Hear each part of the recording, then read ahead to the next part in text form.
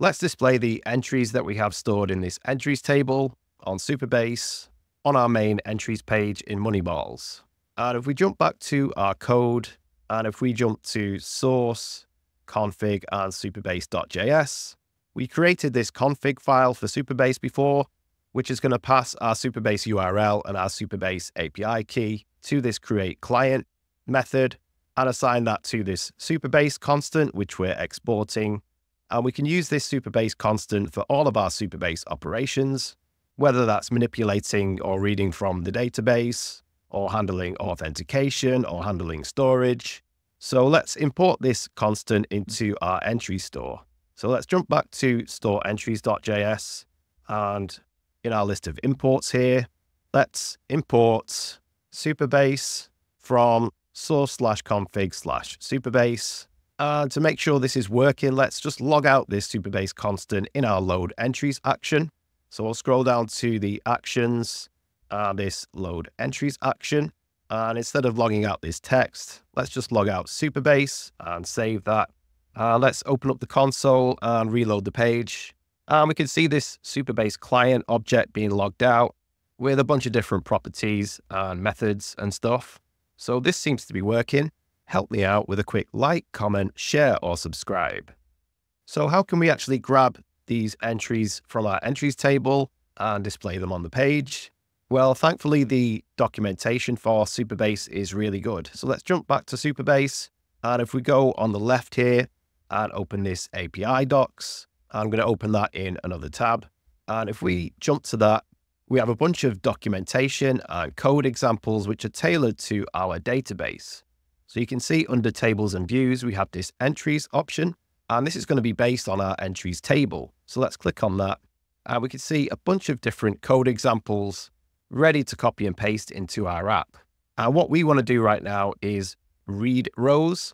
And we want to read all of the rows that are in this entries table.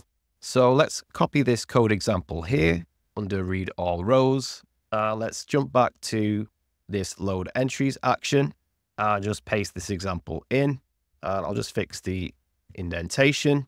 And what's this doing here? Well, it's using the supabase constant, which we imported here, which has our supabase client. And it's going to use this from method to grab from the entries table.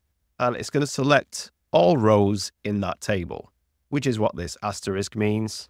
And this is going to return data if it manages to get data from this query, or it's going to return an error. And it's currently using entries as a placeholder for this data property.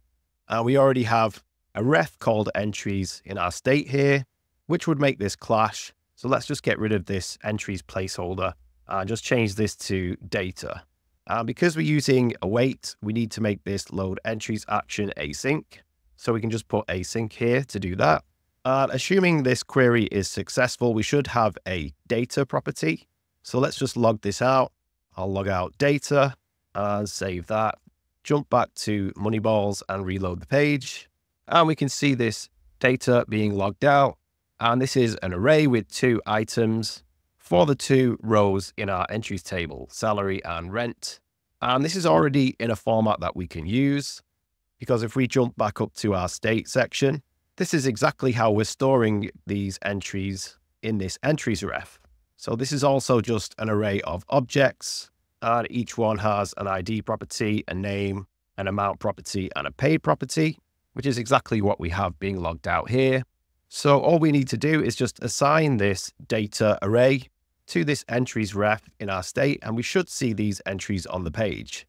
So let's jump back down to the load entries action. And underneath this query, let's just make sure there is some data. So we can just do if data, then we want to assign data to our entries ref, which will be our entries.value.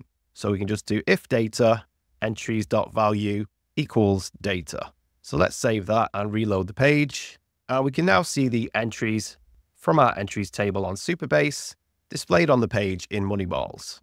Get the full course, including authentication, row-level security and policies, database functions and triggers, storage, edge functions, and running Supabase locally from makeappsacademy.com or click the link in the description.